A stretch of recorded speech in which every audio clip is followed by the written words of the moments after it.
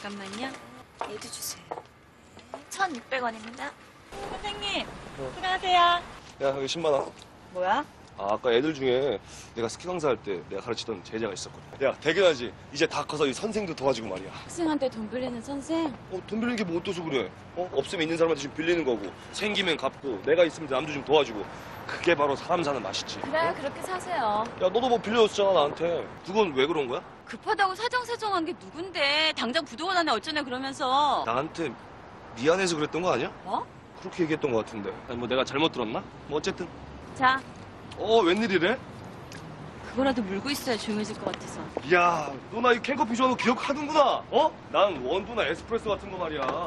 어? 나그 무슨 맛으로 먹는지 모르겠더라. 어? 아 이런 캔커피나 자판기 커피 얼마나 심플하고 좋아. 안 그래, 지지야?